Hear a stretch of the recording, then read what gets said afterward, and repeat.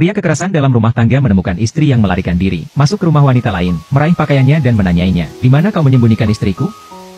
Mary menggigil ketakutan oleh orang gila yang marah. Tidak berani mengatakan sepatah kata pun. Lihatlah wajah yang familiar namun tidak familiar ini. Wajah pria penuh kejutan dan keraguan. Mau tak mau bertanya siapa itu. Di mana istriku? Untungnya, dokter kembali. Langsung ke atas dan pukul pria itu. Kemudian bantu Mary untuk melarikan diri dari kamar. Dan pria kekerasan dalam rumah tangga tidak menyerah. Mengambil tongkat di sebelahnya dan bergegas keluar. Menghadapi penyembunyian dokter dan wanita. Pria sangat marah. Kemudian dokter dan pria itu berkelahi di atap. Mary mengambil kesempatan untuk memanggil polisi. Dokter bukan tandingan pria. Ditinju ke tanah untuk makan tinju. Untungnya, pria itu mendengar sirene. Cepat tarik orang gila itu pergi. Melihat dokter yang terluka untuk dirinya sendiri, Mary merasa sangat bersalah. Dia tahu itu wajahnya. Begitu banyak masalah bagi dokter. Jadi dia siap untuk pergi. Saat dokter tertidur, ambil bagasi Anda dan bersiaplah untuk pergi. Ketika dokter bangun dan menemukan Mary tidak ada di sana. Setelah melihat catatan yang tertinggal di atas meja, panggil Mary dengan tergesa-gesa dan mohon dia untuk tidak pergi. Meskipun Mary memiliki 10.000 keengganan di hatinya, tetapi agar dokter tidak lagi terlibat sendiri, dia harus naik kereta yang berangkat. Saat itulah dokter hanya merasa menariknya. Pegang Mary erat-erat di pelukanku. Mary juga merasakan kehangatan yang belum pernah dia rasakan sebelumnya. Saya khawatir mereka berdua tidak dapat dipisahkan satu sama lain saat ini.